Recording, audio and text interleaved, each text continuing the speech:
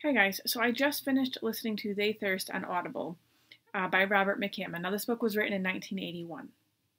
So I do have the paperback copy of this, um, but I had a bunch of Audible credits, so I decided to listen to it instead. Now, I mainly listen to audiobooks when I'm drawing or painting or doing something over here at my desk. I used to listen to audiobooks a lot when I would like ride my bike or go walking, but it is freezing outside, so there is none of that. So, for the time being, most of my Audible listening to is at my desk. I did used to listen to a lot of audiobooks when I was in school, um, but I'm no longer in school, so obviously I'm not doing it that way. All right, so They Thirst is a vampire book, and it is set in 1981 Los Angeles. Now, I read this book when I was about 10 years old. So, the story behind this is that uh, when I was 10 years old, my parents brought me and my sister and my brother to Maryland, where my uncle lived, and they left us there for a month. Now, I didn't know at the time, but my parents uh, were considering getting divorced, which they did eventually get divorced, and they didn't want us anymore. They were just going to leave us there. Uh, first, that's why we were there for so long. But eventually they came back and they got us. So while I was there in Maryland, this was one of the books that my aunt and uncle had on their uh, bookshelf.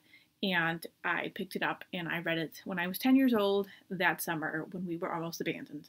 So that's the story behind that book. So, as I was saying, They Thirst is a uh, vampire story set in the 80s in Los Angeles. Now, even though it's set in the 80s, it's not really dated. Like, so like some of the names of celebrities and things are dated, but they don't really um, like use dated technology or anything like that. Obviously, there's no cell phones, computer usage is limited and stuff like that. But you can still read it in present time and not get confused or not feel like it's an old book. So I did enjoy. I really did enjoy this book. The one thing in this book that really bothered me story wise um, is when we finally meet the bad guy. Up until we meet him, just like hearing about him and the things, you know, that people know about him made him seem like this big bad vampire master who could like take care of anything and whatever. But then when you finally like are introduced to that character and he starts having dialogue, he becomes this weak, almost um very, very unlikable, um, kind of like wimpy, weak willed thing. So in this book, uh, I believe his name is Victor, he was turned into a vampire when he was like 17, so he's a perpetual teenager, and he definitely acts it. But how they describe him and then how he actually behaves are two different things. And I did not like it. I didn't like him as a villain. I mean, the way that they made him seem was awesome, but then when they started developing his personality and his actual character through dialogue, it was like, what the hell? Like, it didn't match up. So that was one of my big issues. Any of the parts in the book where he was actually talking, especially when it was like a monologue or like he was having uh, like talks with his master or whatever he called that guy, um, he became like this idiot child man and it didn't fit with the persona that the narrative in the book created for him. Other than that, I had a few issues with the actual narration. Some of the words were pronounced a little bit off. Um, crevice, maybe it's, I know, uh, you know, in other countries people pronounce crevice differently, but this is not a narrator from another country. Um, so he would say crev ass every time. So I'm like, it's not how you say it. Um, also, one of the things is he kind of William Shatnered it a little bit. There were parts where, where he'd be like, we are on the highway and we're getting off exit 45. So I don't know if those are like pauses in the actual narration where they like had to like splice them together where he had to stop and come back, but they're just minor things.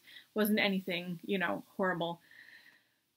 So I liked all of the characters and how they progressed aside from the villain.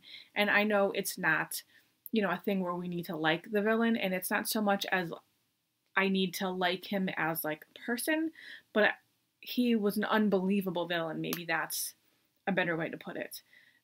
I just think that there was a giant disconnect between the narrative version of him and then the actual version of him when he's talking and uh, you know you're getting to know his personality so i don't remember any of this book from when i read it when i was 10 years old so i'm 40 so that was you know 30 years ago and i don't remember a single thing aside from the fact that it was a vampire book now when i was also in maryland when i was little i read another vampire book and i thought it was this one but apparently it's not and i'm going to have to try to figure out what it is. The only other title of the vampire book that I remember reading, I think is a vampire book, is We Are Legion. And I don't know if that's the one that I'm thinking of. So basically, in this other book, it was a vampire book, and I remember a scene where they were in the water and they were like a camp and they were, I don't know, like there was a big fire I, I just remember bits and pieces, but I remember one thing that really stuck with me at 10 years old was that there was a doctor, I believe it was a female doctor, and then a male character, and they were talking about what created these vampires. And what developed was like a shadow organ once you got bit, and that is what required blood. But I don't remember what that book was. I thought it was this book, but it is not this book. So I'm going to have to dig into 80s vampire books a little bit further because I don't know what it is that I'm missing. Anyways, I do like Robert McCammon as a whole. This is when he still had the R in his name. Um, I do have a bunch of other books from him that I need to uh, read. I have The Listener, which is the newest one. I think I have Mystery Walk. There's a couple other ones that I haven't read that I do have still. So, if anybody has read They Thirst, let me know what you think about it. And uh, yeah, just if you haven't read it, keep in mind that it is an 80s book and that the villain is not very well written. Anyways, I'll see you guys next time.